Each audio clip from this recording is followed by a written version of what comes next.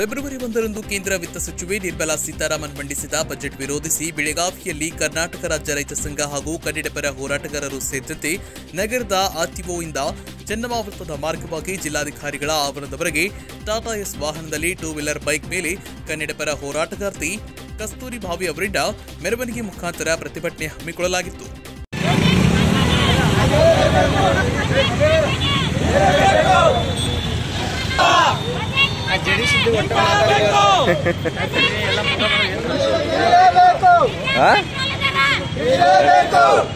ಏನೋ ಅನ್ನತ್ತ ನೋಡ್ರಿ ಇವ?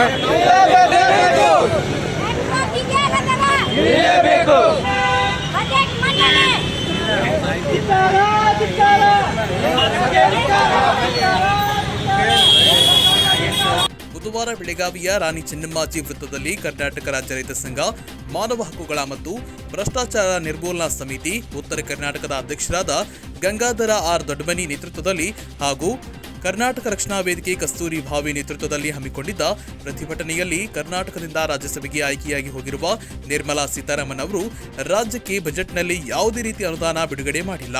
ಹೀಗಾಗಿ ಈ ಬಜೆಟ್ ಅನ್ನು ಹಿಂಪಡೆದುಕೊಳ್ಳಬೇಕು ಅಂತ ಆಗ್ರಹಿಸಿ ಜಿಲ್ಲಾಧಿಕಾರಿಗಳ ಮೂಲಕ ಕೇಂದ್ರ ಸರ್ಕಾರಕ್ಕೆ ಮನವಿ ಸಲ್ಲಿಸಿದ್ರು. ಈ ವೇಳೆ ಅಧ್ಯಕ್ಷ ಗಂಗಾಧರ ದೊಡ್ಮನಿ ಮಾತನಾಡಿ, ನಿರ್ಮಲಾ ಸೀತಾರಾಮನ್ ಅವರು ಮಂಡಿಸಿದ ಬಜೆಟ್ ಬಡವರ ವಿರೋಧಿಯಾಗಿದೆ. ಅಗತ್ಯ ವಸ್ತುಗಳ ಬೆಲೆ ಏರಿಕೆ ಮಾಡಿದ್ರಿಂದ ಬಡವರಿಗೆ ದುಬಾರಿ ಬಜೆಟ್ ಮಂಡಿಸಿದ್ದಾರೆ. ಹೀಗಾಗಿ ಈ ಬಜೆಟ್ ಹಿಂಪಡೆದುಕೊಂಡು ಬಡವರಿಗಾಗಿಯೇ ಹೊಸ ಬಜೆಟ್ ಮಂಡಿಸಬೇಕು ಅಂತ ಆಗ್ರಹಿಸಿದ್ದಾರೆ.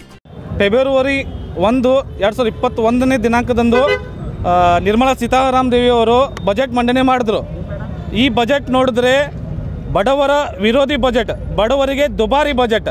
ಇದರಿಂದ ಏನಾಗ್ತಾ ಇದೆ ಅಂದರೆ ಇವರು ದಿನನಿತ್ಯ ಅವಶ್ಯಕತೆ ಇರುವ ಆಹಾರ ಪದಾರ್ಥಗಳು ಅಡುಗೆಗೆ ಬಳಸುವ ಎಣ್ಣೆ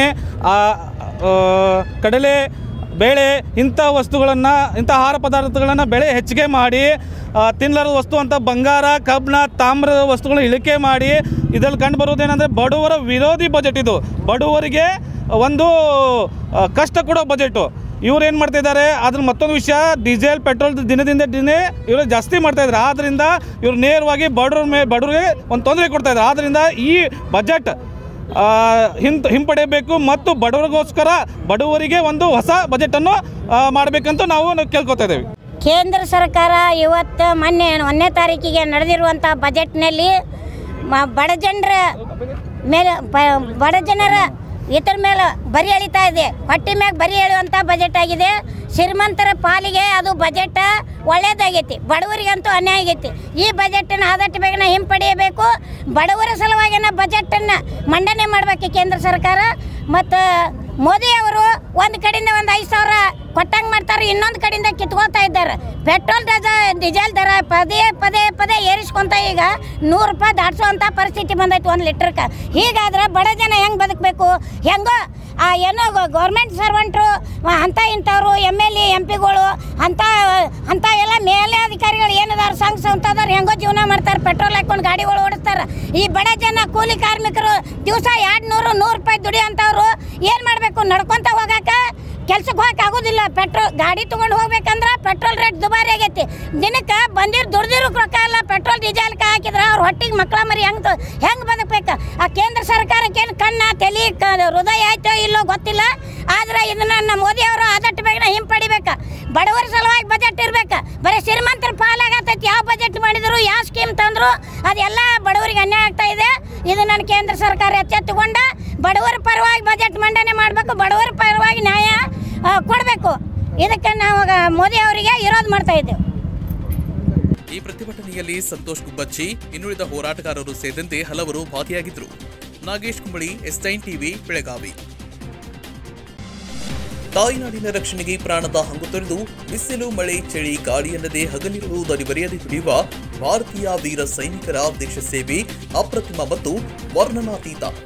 ಭಾರತೀಯ ಸೈನ್ಯದಲ್ಲಿ ಕರ್ತವ್ಯಕ್ಕೆ ಸೇರಿ ದೇಶದ ನಾನಾ ಗಡಿ ಭಾಗಗಳು ಸೇರಿದಂತೆ ವಿವಿಧ ಕಡೆ ಸುಮಾರು ಹದಿನೆಂಟು ವರ್ಷಗಳ ಕಾಲ ಸೇವೆ ಸಲ್ಲಿಸಿ ಸೇವಾ ನಿವೃತ್ತಿ ಹೊಂದಿ ಮಂಗಳವಾರ ಸ್ವಗ್ರಾಮ, ದೊಡ್ಡವಾಡಕ್ಕೆ ಮರಳಿದ ವೀರ ಯೋಧ ಬಸವರಾಜ್ ಮಹಾರುದ್ರಪ್ಪ, ಭುಜಂಗನವರ ಅವರನ್ನ ಗ್ರಾಮದ ಗುರುಹಿರಿಯರು ಯುವಕರು, ಗೆಳೆಯರು ಸೇರಿ ಅದ್ದೂರಿಯಾಗಿ ಸ್ವಾಗತಿಸಿ ಹೃದಯ ತುಂಬಿ ಸತ್ಕರಿಸಿದ್ರು. ಭಾರತೀಯ ಸೇನಾ ಸಮವಸ್ತ್ರದಲ್ಲಿಯೇ ಬಂದ ಬಸವರಾಜ್ ಅವರಿನ ಅವರ ಸಹಪಾಠಿಗಳು, ಮಾಜಿ ಯೋಧರು, ಯುವಕರೆಲ್ಲ ಸೇರಿ ಎಲಿನ ಕುಪ್ಪದ ಅಗಸಿಯ ತೇರಿನ ಕಟ್ಟಿಯ ಮೇಲೆ ಶಾಲು ಹೊದಿಸಿ ಓಬಾಲಿ ಹಾಕಿ, ಸಿಹಿ ತಿನ್ನಿಸಿ ಆತ್ಮೀಯವಾಗಿ ಸ್ವಾಗತಿಸಿತು.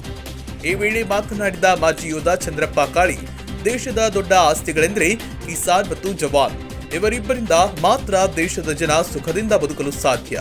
ಭಾರತೀಯ ಸೇನೆಯಲ್ಲಿ ಸೇರಿ ದೇಶದ ರಕ್ಷಣೆಗೆ ಹೋರಾಡುವುದು ಹೆತ್ತ ತಾಯಿಯ ಸೇವೆ ಮಾಡಿದಷ್ಟೇ ಪವಿತ್ರವಾದ ಕೆಲಸ ಅಂತ ರಂಜಾನ್ ಮುಜಾವರ ಮಾತನಾಡಿದ್ರು. ಬಸವರಾಜ್ ಅವರು ಗ್ರಾಮದ ಯುವಕರು ಭಾರತೀಯ ಸೈನ್ಯ ಸೇರಲು ಸ್ಫೂರ್ತಿ ತುಂಬಬೇಕು ಅಂತ ಹೇಳಿದ್ರು. ತಾಲೂಕು ಪಂಚಾಯತ್ ಸದಸ್ಯ ಸಂಗಯ್ಯ ದಾಭಿಮಠ ಮಾಜಿ ಯೋಧ ಫಕೀರಪ್ಪ ಉಪ್ಪಿನ್, ಪ್ರಮುಖರಾದ ಫಕೀರಪ್ಪ ಕರಿಸಿರಿ ನಿಂಗಪ್ಪ ಎರಿಕಿತ್ತೂರ ಪ್ರದೀಪ್ ಸೊಬರದ, ಶಿವಪ್ಪ ಹೆಬ್ಬಳ್ಳಿ, ಮೈಲಾರ ಉಪ್ಪಿನ, ಮಂಜು ಕಳಸಿಮನಿ ಸುರೇಶ್ ಹಾಲೆನವರ, ಈರಣ್ಣ ಸುಂದ್ರಿಮಣಿ ಹಾಗೂ ಗ್ರಾಮದ ಹಿರಿಯರು ಯುವಕರು ಉಪಸ್ಥಿತರಿದ್ದರು. Siddappa Kambar, S nine TV Bailhongal Belagavi ಜಿಲ್ಲೆಯ ಚಿಕ್ಕೋಡಿ ತಾಲೂಕಿನ ಕರೆಗಾವ, ದೊಡ್ಡವಾಡ ಹಾಗೂ ವಿಜಯನಗರ ಗ್ರಾಮಗಳಿಗೆ ಸಿಸಿ ರಸ್ತೆಗೆ ಚಾಲನೆ ನೀಡಲಾಯಿತು. ಕರೆಗಾವ ಗ್ರಾಮದ ಚೆನ್ನವೀರೆಡ್ಡಿ ವಡ್ಡೆರ ತೋಟ ಬಳಿ ಇರುವ ಸಿಸಿ ರಸ್ತೆ ನಿರ್ಮಾಣಕ್ಕೆ ಇಂದು ಜಿಲ್ಲಾ ಪಂಚಾಯತ್ ಸದಸ್ಯರಾದ ಪವನ್ ಕತ್ತಿಯವರು ಚಾಲನೆ ನೀಡಿದರು. ಪಂಚಾಯತ್ ರಾಜ್ ಇಂಜಿನಿಯರಿಂಗ್ ವಿಭಾಗ ಚಿಕ್ಕೋಡಿ ವ್ಯಾಪ್ತಿಯ ಎರಡ್ ಸಾವಿರದ ಇಪ್ಪತ್ತು ಹಾಗೂ ಇಪ್ಪತ್ತೊಂದನೇ ಸಾಲಿನ ಪರಿಶಿಷ್ಟ ಜಾತಿ ಕಾಲೋನಿಯಲ್ಲಿ ಮೂಲಭೂತ ಸೌಕರ್ಯ ಒದಗಿಸುವ ಸಮಾಜ ಕಲ್ಯಾಣ ಇಲಾಖೆ ಯೋಜನೆಯಡಿಯಲ್ಲಿ ಮಂಜೂರಾದ ಸಿಸಿ ರಸ್ತೆ ಅಂದಾಜು ಮೂವತ್ತು ಲಕ್ಷ ರೂಪಾಯಿಗಳ ಅನುದಾನದಲ್ಲಿ ಗುದ್ಲಿ ಪೂಜೆಗೆ ಅವರು ಅಡಿಪಾಯ ಹಾಕಿದ್ರು. ಅದೇ ರೀತಿ ದೊಂಡವಾಡ ಗ್ರಾಮದಲ್ಲಿ ಇಪ್ಪತ್ತು ಲಕ್ಷ ರೂಪಾಯಿ ಅನುದಾನ, ವಿಜಯನಗರದಲ್ಲಿ ಇಪ್ಪತ್ತೈದು ಲಕ್ಷ ರೂಪಾಯಿ ಸೇರಿದಂತೆ ಒಟ್ಟು ಎಪ್ಪತ್ತೈದು ಲಕ್ಷ ರೂಪಾಯಿಗಳ ಮೊತ್ತದ ಕಾಮಗಾರಿಗೆ ಇಂದು ಚಾಲನೆ ಸಿಕ್ಕಿತು. ಇದು ಜಿಲ್ಲಾ ಪಂಚಾಯತ್ ಸದಸ್ಯರ ಸತತ ಪ್ರಯತ್ನದಿಂದ ಹಾಗೂ ಗ್ರಾಮದ ಪರಿಶಿಷ್ಟ ಜಾತಿ ಸುಧಾರಣೆ ಕಾಣುವಲ್ಲಿ ಹಲವು ದಿನಗಳ ಬೇಡಿಕೆ ಇತ್ತು. ಇಂದು ಪವನ್ ಕತ್ತಿ ಅವರ ಆಶ್ರಮದಿಂದ ಮಂಜೂರಾಗಿ ಇಂದು ಪೂಜೆಗೆ ಚಾಲನೆ ಸಿಕ್ಕಿದೆ. ಈ ಸಂದರ್ಭದಲ್ಲಿ ಜಿಲ್ಲಾ ಪಂಚಾಯತ್ ಸದಸ್ಯರಾದ ಪವನ್ ಕತ್ತಿ, ಅಭಿಯಂತರರಾದ ಎಸ್ ಎ ಬುಸ್ಗೋಳ, ಹೊಸಮನಿ ಸಮಾಜ ಕಲ್ಯಾಣ ಇಲಾಖೆ ಅಧಿಕಾರಿಗಳಾದ ಮಳ್ಳು ಉಳ್ಳಾಗಡ್ಡಿ ಹಾಗೂ ಉಮೇಶ್ ಶಿದ್ನಾಳಿ ಪ್ರಥಮ ದರ್ಜೆ ಗುತ್ತಿಗೆದಾರರಾದ ತಿಮ್ಮಣ್ಣ ಗಾಡಿವಡ್ಡರ್, ಬಿಎಸ್ ಉಪಾತ್ ಮಾಳ್ಗೆ, ದಾನಪ್ಪುಳ ಸೇರಿದಂತೆ ಇನ್ನೂ ಅನೇಕ ಗಣ್ಯರು ಉಪಸ್ಥಿತರಿದ್ದರು. Bhimsingh Kamble, S nine TV, Chikkodi. ಈ ವರ್ಷ ಗೌರೀಶ್ ಕೆ ಸಾರಥ್ಯದ ಆಲ್ಮಾ ಮೀಡಿಯಾ ಸ್ಕೂಲ್ ಉತ್ತರ ಕರ್ನಾಟಕದ ಐದು ಮಂದಿ ಹೆಣ್ಣು ಮಕ್ಕಳಿಗೆ ಸ್ಕಾಲರ್ಶಿಪ್ ಜೊತೆಗೆ ಉಚಿತ ವಸತಿ ವ್ಯವಸ್ಥೆ ನೀಡಲು ನಿರ್ಧರಿಸಿದೆ. ಆಸಕ್ತರಿಗೆ ಶೇರ್ ಮಾಡಿ ದೂರವಾಣಿ ಸಂಖ್ಯೆ ಏಳು ಎರಡು ಐದು ಒಂಬತ್ತು ಏಳು ಒಂಬತ್ತು ನಾಲ್ಕು ಒಂಬತ್ತು ಸೊನ್ನೆ ಒಂದು. Alma media school three six five at Gmail dot com. Alma media school. ಬಾವಿಗೆ ಬಿದ್ದು ಬಾಲಕ ಸಾವನ್ನಪ್ಪಿರುವ ಘಟನೆ ಬೆಳಗಾವಿ ಜಿಲ್ಲೆಯ ರಾಮದುರ್ಗ ತಾಲೂಕಿನ ಖಾನಪೇಟ ಗ್ರಾಮದಲ್ಲಿ ನಡೆದಿದೆ. ವಿಕ್ರಾಂತ ಮೃತಪಟ್ಟ ಬಾಲಕನಾಗಿದ್ದು, ಆಟವಾಡಲು ತೆರಳಿದ್ದ ವೇಳೆ ಕಾಲು ಜಾರಿ ಬಾವಿಗೆ ಬಿದ್ದಿದ್ದಾನೆ ಅಂತ ಹೇಳಲಾಗ್ತಿದೆ. ಆಟವಾಡಲು ತೆರಳಿದ್ದ ಬಾಲಕ ಮನೆಗೆ ಬಾರದ ಹಿನ್ನೆಲೆಯಲ್ಲಿ ಹುಡುಕಾಟ ನಡೆಸಿದ್ರು. ಇಂದು ಬಾವಿಯಲ್ಲಿ ಬಾಲಕನ ಶವ ಪತ್ತೆಯಾಗಿದ್ದು ಕಟಕೋಳ ಪೊಲೀಸರು ಸ್ಥಳಕ್ಕೆ ಆಗಮಿಸಿ ಪರಿಶೀಲನೆ ನಡೆಸಿದ್ದಾರೆ. ಕಟಕೋಳ ಪೊಲೀಸ್ ಠಾಣಾ ವ್ಯಾಪ್ತಿಯಲ್ಲಿ ಪ್ರಕರಣ ದಾಖಲಾಗಿದೆ. ಕ್ಯಾಮರಾಮನ್ ಗಣಪತಿ ಖಾನ್ಬೆಟ್ ಜೊತೆ Suresh Ginjale, S nine TV, Ramdurg. Khanapur ತಾಲೂಕಿನ ಚಿಕ್ಕ ಮುನಬಳಿಯ ಆರೂಢ ಮಠದಲ್ಲಿ ನಡೆಯುತ್ತಿರುವ ಸದಾಶಿವಾನಂದ ಸ್ವಾಮೀಜಿಯವರ ಹನ್ನೊಂದನೇ ವರ್ಷದ ಪುಣ್ಯ ಸ್ಮರಣೋತ್ಸವ ಹಾಗೂ ನಲವತ್ತೊಂದನೇ ಅಖಿಲ ಕರ್ನಾಟಕ ವೇದಾಂತ ಪರಿಷತ್ ಸೇರಿದಂತೆ ವಿಶೇಷ ಧಾರ್ಮಿಕ ಕಾರ್ಯಕ್ರಮಗಳು ಅತಿ ಸಂಭ್ರಮದಿಂದ ಅದ್ಧೂರಿಯಾಗಿ ಜರುಗ್ತಾ ಇವೆ.